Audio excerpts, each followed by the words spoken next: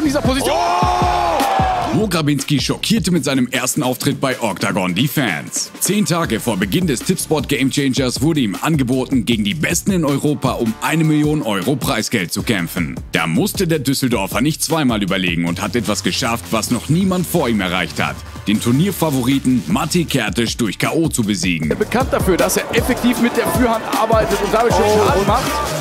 Hertisch versucht. Position. Gute rechte Hand. Leute, ich bin auf Short Notice in dieses Tournament gekommen. Für mich war einfach nur wichtig zu kämpfen und so eine Chance lasse ich mir natürlich nicht entgehen. Man kann auch kein K.O. erzwingen. Ein K.O. kommt von alleine. Doch gegen den späteren Finalisten Andreas Michalidis aus Griechenland musste sich Grabinski geschlagen geben. Stellt Michalidis direkt am Cage und ihn. Ja, also der scheint heute noch was vorzuhaben. Er legt direkt los als Oh. geht's Kanon. Jetzt natürlich Eindruck, wenn man solche Aktionen hier auspackt. Bodylock und dann mit dem Bein wieder. Oh, ja. Jalidis geht für die Arm Triangle. Und dann kommt Krabinski. Und auch im Reservekampf zum Tipsport Game Changer gegen Leandro Apollo Silva Er möchte mit dem Rücken zur Wand sein, seinen Gegner in Sicherheit wiegen, dass er den Kick zum Körper geblockt hat und da folgte dann auch schon direkt der High Kick.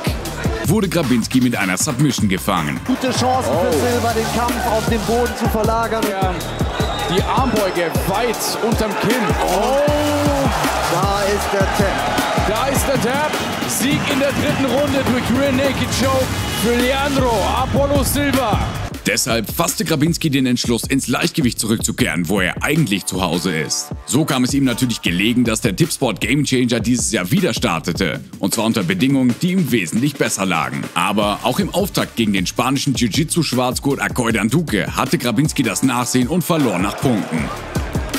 Oh, Versucht den Takedown, aber gut gesweept von Krabinski. Oh, Vorsicht, aber es liegt. Also meines Wissens nach wird dann mit einer extra Runde ein Winner, ein, ein Sieger Duque!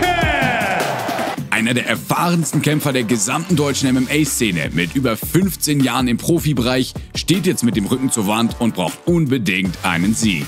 Da hat aber der tschechische Striker Jakub Banik noch ein Wörtchen mitzureden. Von Najant mit den ersten Kicks und noch wieder. Najant geht nach vorne, hat aber einige Knie an den Kopf bekommen. Denn auch der möchte an seine früheren Erfolge bei Octagon anknüpfen, nachdem er zuletzt in Stuttgart gegen Wahid Najant verloren hat.